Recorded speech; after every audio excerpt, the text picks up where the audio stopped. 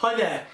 Now I thought I'd share with you today a really great engine and this is a PAW or a PAW uh, 2.49 so it's two and a half cc diesel engine. Now these engines are still made in the UK and it's fantastic because it's one of the few engine manufacturers that are still around and what a great job they do with these engines. Now we'll take a closer look now. It's an engine I've uh, run in the past, but I haven't run it for quite a while, and so I thought I'd get it in the engine in the test stand and get this engine running. But we'll have a quick look at it now. Right, well this is one of their later versions. I'm not sure how old this is. I'm not totally familiar with the different sort of variations on the PAWs. But you can tell it's one of the later ones from the removable Venturi. You can take that out. There's a, a grub screw on this side and you can put an RC carb in there if, uh, if you wish. Now if we turn this over we can see on the back plate there we can see 249 just stamped in so uh, just telling us what size it is. Now this is one of the plain bearing ones I'm fairly sure and um, it's got a lever on the compression screw I made that just because I found that the um, compression screw was just undoing a little bit with the vibration during running. So I just made that uh, simple lever just to lock it off. But this is, uh, this is a great running engine. Like I say, I haven't had it running for a long time, so I thought it'd be good to get it in the test stand. Right, well, we've got this PAW clamped in the test stand, and I'm dead excited to see how it runs. I've got a 9x4 prop and I'm going to be running it on this Model Technics D2000 diesel fuel. So let's see how it runs.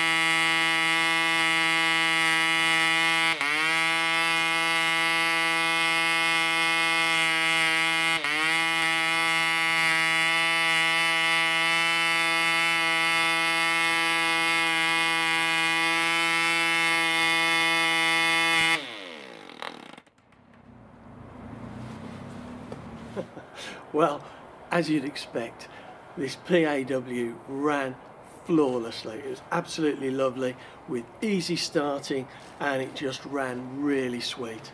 And what were we getting? Just under 10,000 RPM with this 9x4 prop. I tell you what, I can't wait to get this into a model. Such a lovely engine and it's great that these things are still being produced today. Excellent engines. Anyway, I hope you enjoyed seeing that. Thanks very much for watching.